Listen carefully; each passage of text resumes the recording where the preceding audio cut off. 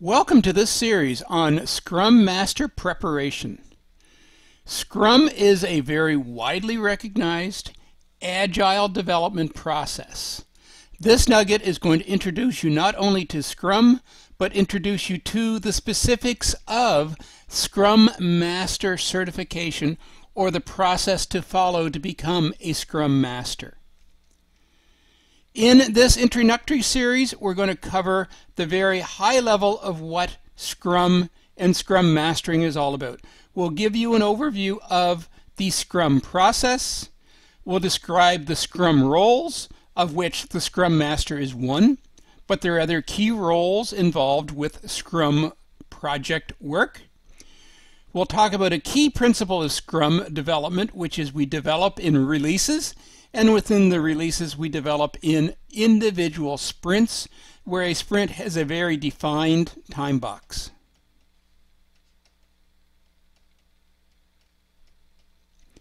Then we'll talk about some of the Scrum rituals. You're going to you're going to hear or you've probably heard terms such as the daily Scrum, the sprint review process, the retrospective, and so on. So we'll orient you to the various Scrum rituals or processes to be followed in a Scrum development project. And we'll talk a little bit about Scrum management. There is management process in Scrum. And again, there's probably a few terms that you've heard of, such as the daily burn down chart, the story burn up chart, and so on, that will give you an overview of what Scrum management is all about because there is a management process in Scrum. And finally, we'll talk about or differentiate the differences between Scrum and other agile development processes. But first, let's roll up our sleeves and focus on what is Scrum. So probably the very hardest thing I have to do in this Nugget series is to give you a definitive definition of Scrum. What is Scrum? Is Scrum a systems development approach? Yes. Is Scrum exclusive for systems development? Absolutely not. Anything, and I even hesitate to use the word thing, but anything you want to do that requires a level of work, typically of a unique variety, because Scrum is not truly designed for routine, day to day production, doing the same thing, manufacturing widgets day in, day out. That's not Scrum. So I would start to say Scrum is based on project based work. Where a project is a unique undertaking to develop, to deliver, to produce something new and unique. Does it have to be software? No. Typically, when we discuss Scrum, and most of the approaches we're going to discuss in this Nugget series are based on software development undertakings. And I really struggle with using the word project because most Agilists and most Scrum specialists try to differentiate between what we do with Scrum approaches and traditional project approaches. And that is very, very true. Scrum is very different than traditional approaches, and we'll discuss that in a future nugget. But I will continue to largely call out the work we're doing within Scrum as project based work simply because it's unique and it has a goal. So when I refer to projects, I'm talking about something, some piece of work, something that we're going to do that is unique and has a goal and requires work.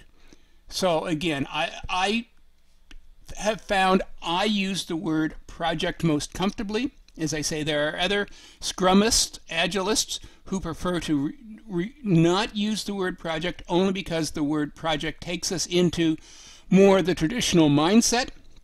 But in the pure textbook definition, Scrum is project based work often associated with software, but not always. You can do anything in a Scrum world. So enough of the definition. What is Scrum? Scrum is very much iterative. if we were to find a single word, in my humble opinion, that defines what Scrum is, it's iterative. We do the project in pieces.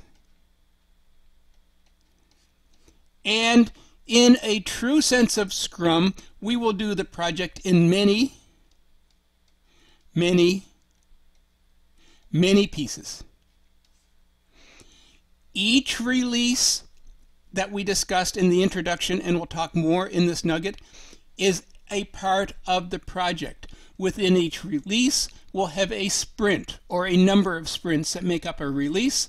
In the sprint is developing a piece of the project. So that's why it's iterative. It's many, many, many pieces. And we'll talk about that aspect throughout this entire Nugget series. Another key differentiator of Scrum is it's very lightweight. You'll see by the time we finish this Nugget series, there is some very sound, some very complete, some very robust definitions of developing working in a Scrum environment, but there's not a lot. There is not a lot of memorization. There is not a lot of process. There is not a lot of predefined forms. As a matter of fact, there are no predefined forms associated with Scrum. Scrum. So it's very lightweight. It's easy to learn. Scrum is very, very easy to learn, but it's also very hard to master. I hope by the time we finish this Nugget series, you have absolutely done all of the learning and are even well on the way to mastering. As I've already said, it's very simple to understand, and it's based on these three principles. Transparent. There is nothing hidden. There's no traditional, now the team's going to go away for a period of time, two weeks, two months, etc., etc., and we're going to do some work and just trust us. There's none of that. Everything we do in a Scrum environment is extremely transparent. And as we'll discuss in just a moment we, when we get into the roles, there's going to be a product owner. And the product owner represents the business and the product owner is part of the Scrum team. And the product owner is expected to participate daily in the Scrum activities. So if you have your product owner, if you have the business sitting with the team for a significant part of every day, there is no, no ability to be non-transparent so Scrum is designed to be extremely transparent. We want that product owner, we want them involved, we want the feedback, and we want to adopt and adjust, which is the flexible and adaptable. And quality is built in. A lot of people, when they look at a Scrum process or they first hear of Scrum process and says, yep, that's just the wild, wild west. We just have a bunch of rogue programmers out there writing code as they see fit and calling it Scrum. It's absolutely not the case. Quality is built in throughout Scrum. Each one of our iterations, each one of our sprints, and each one of our releases has the expectation that we're delivering functional, tested, implementable,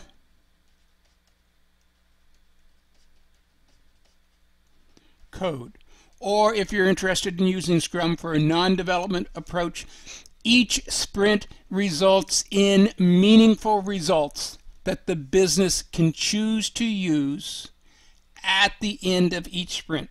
So transparent, nothing is hidden. We want full active participation we build quality in. It's not the wild, wild west.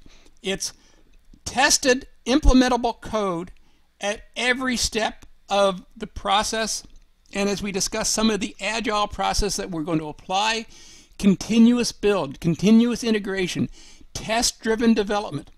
What we deliver in a Scrum environment is quality and it's flexible and adaptable. adaptable. Because our sprints are short. If we find we made some mistakes, if we find our approach is not correct, if we find we need to fix things, at the end of each sprint, we have a retrospective, and in the retrospective, we have the ability to be flexible and adaptable to improve, continuous process improvement. So with this relatively brief introduction to Scrum, I hope I've whetted your appetite on Scrum and that you're ready to continue through this introductory nugget and certainly through this entire series to better understand Scrum and to be better prepared to take your Scrum Master certification. So consistent with the fact that Scrum is lightweight and easy to understand, there are five main roles defined in a Scrum process. The key role is the Scrum Master. And I hesitated to say the key role is because most people will suggest the product owner is the key role in a Scrum project. For the sake of this Nugget series, I'm saying the key role is the Scrum Master because that's why we're developing, that's why we're taking this series, is to understand what Scrum Mastering is all about and to prepare you to become a certified Scrum Master. The Scrum Master is not a project manager. The Scrum Master is a guide. The Scrum Master is a facilitator. The Scrum Master may be a participating team member.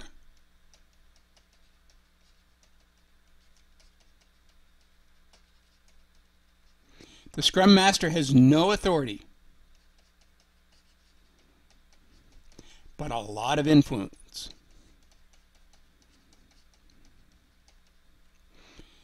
I still believe the Scrum Master is key to the success of Scrum processes because without an effective Scrum Manager filling these roles of the guide, the facilitator, able to work in a non-authoritative manner, but to influence the team and guide the team to success, again, I believe the Scrum Master is certainly a key member of the Scrum development team, if not the key. As I say, a lot of other proponents of Scrum will say the product owner is the key role because the product owner is the person with the authority on what is done. And that's where the product owner's authority stops. The product owner defines what it is the team is going to develop. The product owner creates things called user stories. The product owner provides the details around what a user story is. And we'll talk much more about a user story later in the series. But the user story basically, again, identifies the what, and the product owner identifies the priority in which the what's are going to be done. And the product owner provides all of the details that the team needs to, to complete the what's. The team has the authority on how they accomplish the what.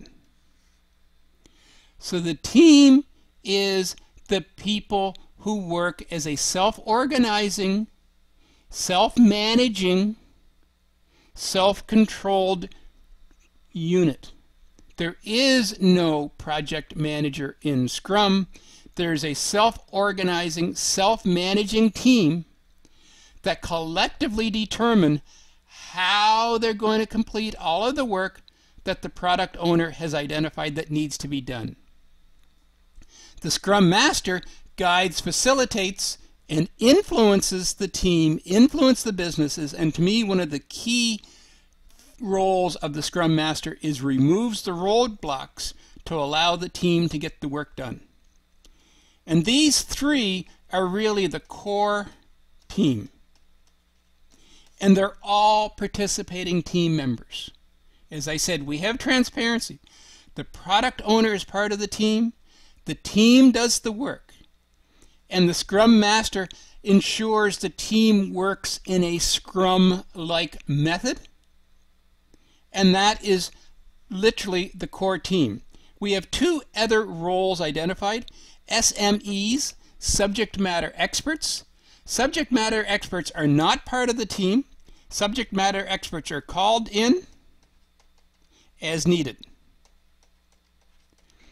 In a utopia world, we would not need any SMEs because the product owner is all knowing, all seeing, all wise.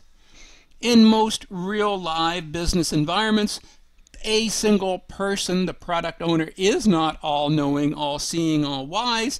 So, therefore, there will be instances where the product owner says, You know, I really don't know that answer. Why don't you call Susan? And Susan becomes the SME. And then finally, we have another key person, and that's the business owner. That's the person with the dollars. That's the person with the need. And the product owner and the business owner may be one person, but often not. The business owner is typically a manager who has the power and the authority to commit organizational resources, i.e., dollars, to the project. And managers don't have the time to sit with the team for hours every day to work on the Scrum approaches. So the business owner appoints a product owner who does the day to day interaction with the team. The product owner typically organizationally reports to the business owner, and typically the product owner reports to the business owner from a project results viewpoint as well. And that's it. Those are all of the roles associated with Scrum. Now, we have an entire nugget that's going to go through the roles and responsibilities of these team members in much more detail, but at an introductory level, these are our Scrum roles. And if you'll excuse my drawing, I know I'm not the most artistically talented in the world, this diagram to me represents the concept of releases and sprints overall this black area and I deliberately did not draw it as a square or a regular object because projects are typically not that well defined. There's typically a lot of changes, flexibility. Well, we're not going to do this little piece here because that's better done outside the project. And there's a significant amount of work here that's that's again business process, manual activities as opposed to everything inside the, the black object is the product that our Scrum team is going to develop. And the developing this product may take a considerable amount of time. It may take 6 to 12 months to do all of the work associated with developing that product. Taking on 6 to 12 months delivery as a single delivery is a traditional development project, and we know Scrum is not a traditional development project because it's iterative with multiple releases and multiple sprints. So the business owner and the product owner work together to develop a release strategy. And they say, this can be release number one, and this can be release number two, and release number three, and so on. So if we deliver this functionality here, there's business value. Let's call that a release. And then we augment that with some more business value here. Let's make that a release. So a release may be one to two months in length. And that, again, is far too much time frame for a traditional Scrum approach. So then we take each release and we break it into a number of sprints. So this is sprint number one, sprint number two, three, and so on. And the sprints are in very short time frames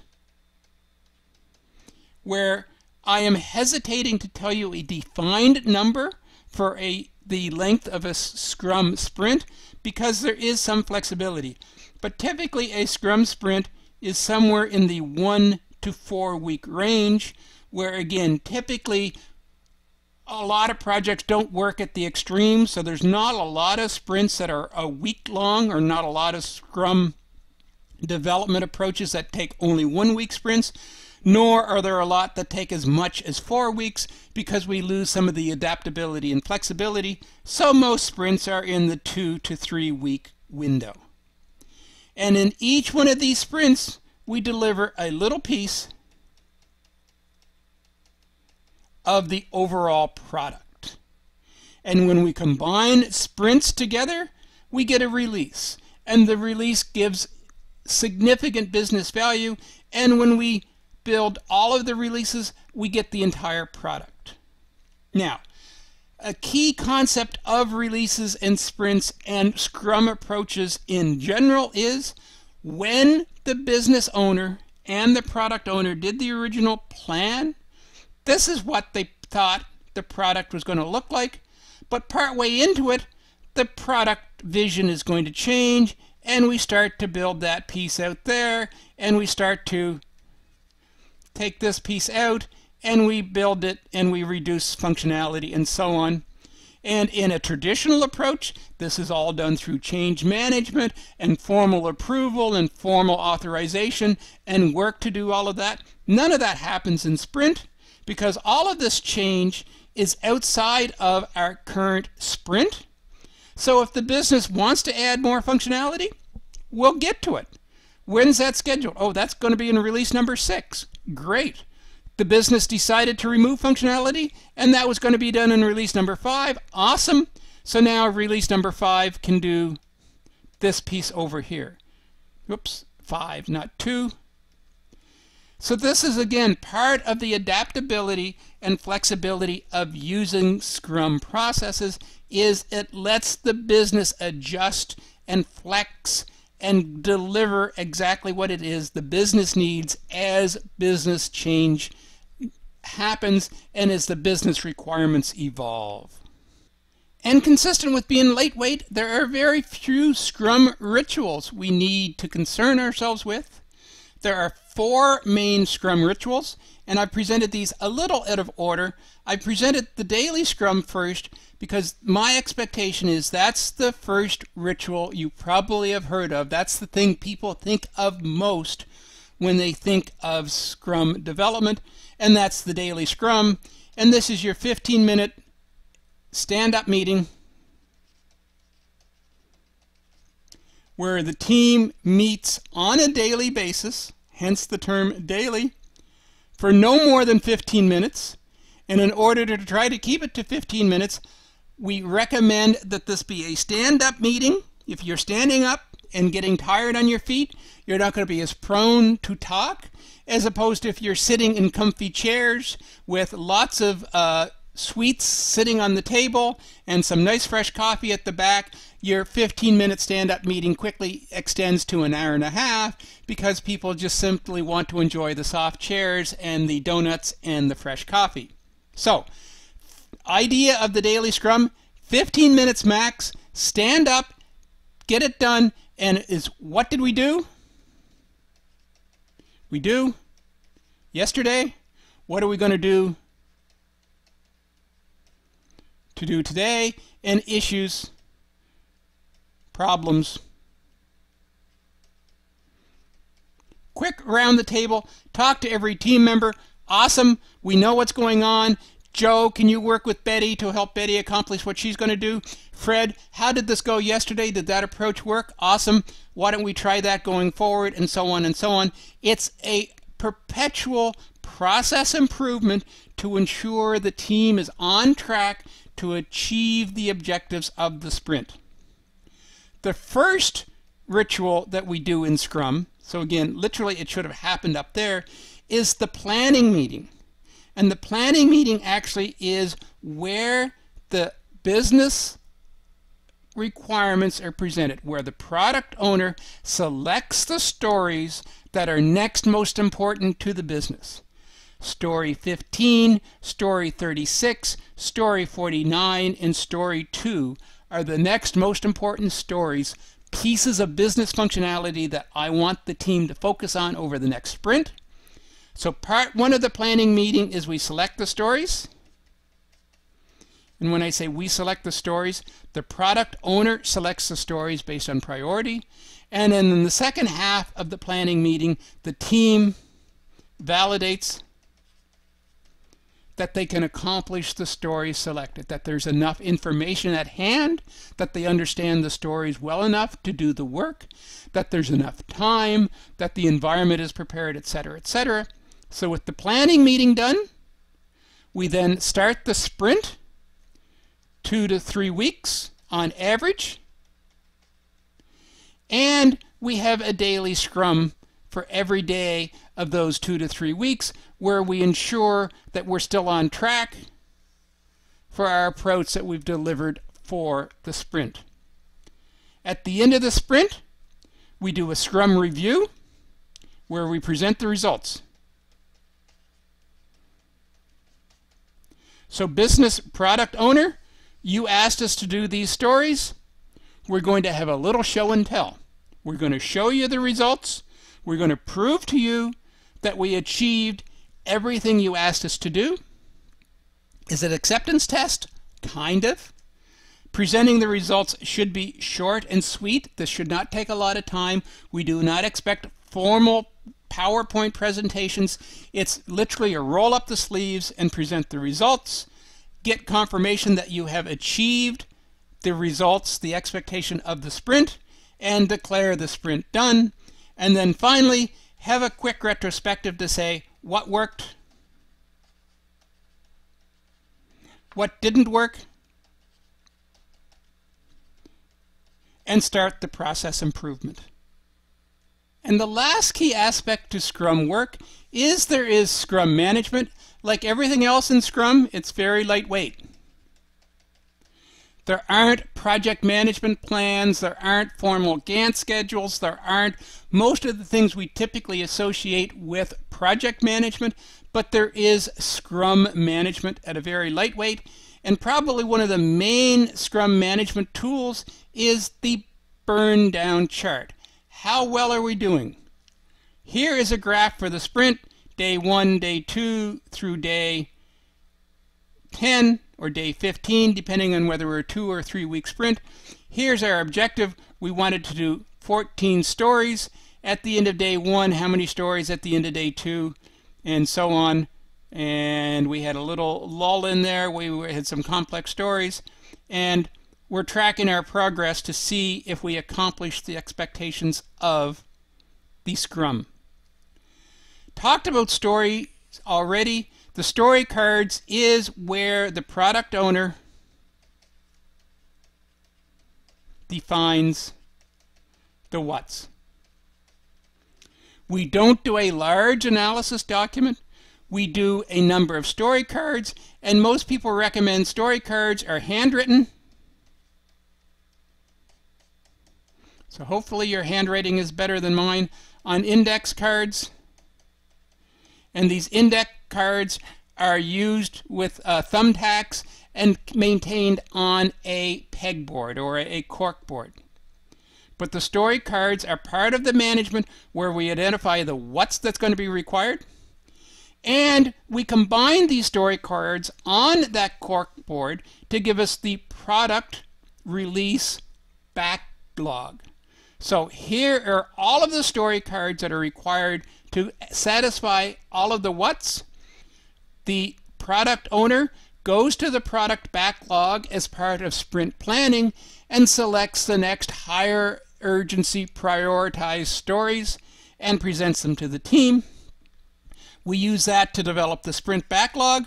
The sprint backlog is obviously the, the input to the burn down chart and it identifies the 14 stories that we want to accomplish in this sprint. And the final aspect that we haven't discussed yet in this nugget as part of Scrum management is this principle of velocity. How long does or is a story? How much work is required to complete the story and how much work can the team do in a sprint? So with this concept of velocity, we're able to take that sprint backlog, validate that we have the ability to complete all of the stories that the business has selected, And we can use our velocity to track how well to ensure the predictability of our burn down chart is allowing us to achieve our expectations of completing the sprint in 10 days. And in a nutshell, that's it for Scrum. Scrum is all about developing an agile approach to software development, which leads us to our next discussion point. What is the difference between Scrum and Agile? So where does Agile fit in? Well, my first statement is Scrum is Agile. Agile to me is a lightweight software development process. Scrum is a lightweight software development process. The big distinction I make between Scrum and Scrum is very focused on the management and I will definitely put that in quotation marks.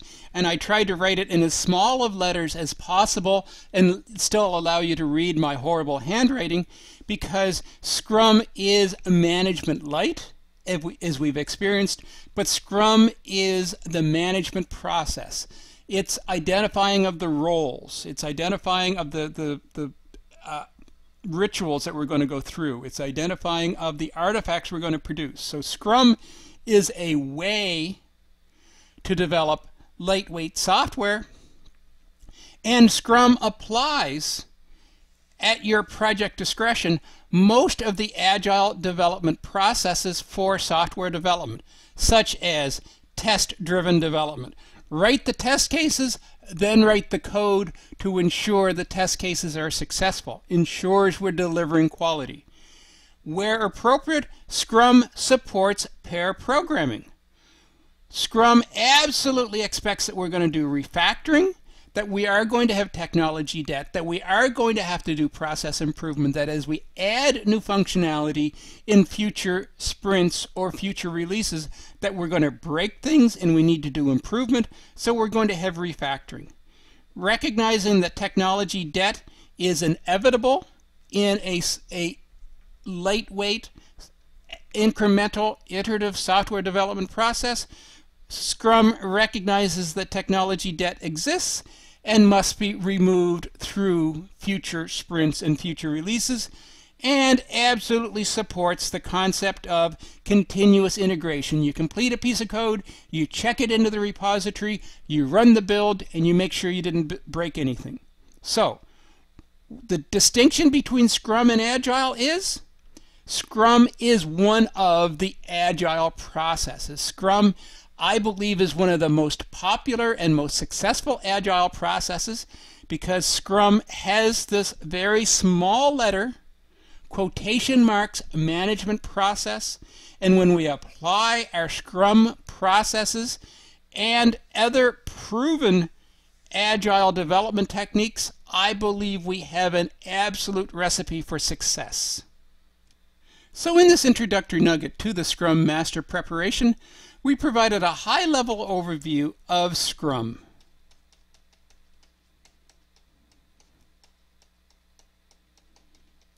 We defined what Scrum is. It's a lightweight,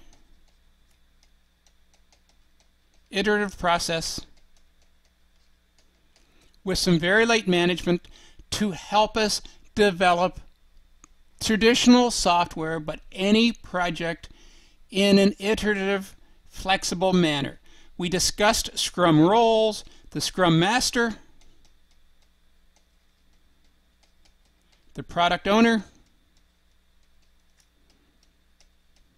and the team is the three core roles that participate in a Scrum project. We talked about releases and sprints combining to deliver the specific requirements of the business. We identified a number of Scrum rituals where the daily Scrum, the planning meeting, the Scrum review, and the Scrum retrospective allows us to keep the Scrum project under control consistent with Scrum management, where we provide a very lightweight management approach. And we concluded with a review of Scrum is one adaptation, one method of being agile.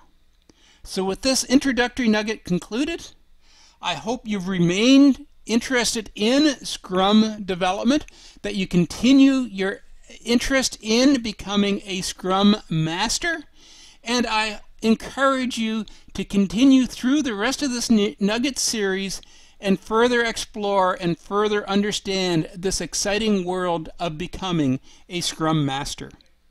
This concludes our nugget on Scrum Master preparation. I hope this module has been informative for you, and thank you very much for viewing.